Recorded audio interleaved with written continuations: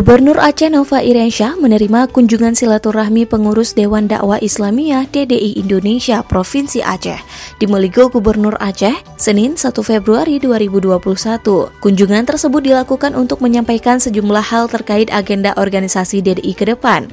Selain itu, mereka juga meminta dukungan pemerintah demi kelancaran aktivitas organisasi dalam menjalankan tugasnya. Sekretaris Dewan Dakwah Islamiyah Aceh, Zulfikar menjelaskan, dalam perjalanannya organisasi Dewan Dewan Dakwah Islamiyah Aceh terus melakukan kolaborasi dan bersinergi dengan Dinas Syariat Islam maupun ormas lainnya dalam rangka memperkuat akidah umat, utamanya bagi mereka yang berada di wilayah perbatasan Aceh. Dalam kesempatan tersebut, Zulfikar juga berharap agar Gubernur Aceh dapat membantu melanjutkan pembangunan gedung Akademi Dakwah yang telah berdiri. Mereka berharap gedung tersebut dapat disempurnakan sebagai fasilitas pendidikan bagi anak-anak di perbatasan Aceh. Gubernur Aceh Nova Iriansyah menyambut baik dan mendukung kehadiran organisasi Dewan Dakwah Islamiyah Aceh. Baginya organisasi tersebut tidaklah asing lagi dan ia pun mengaku bagaimana peran penting Dewan Dakwah. Gubernur juga mendukung segala aktivitas yang dilakukan Dewan Dakwah untuk memperkuat akidah umat.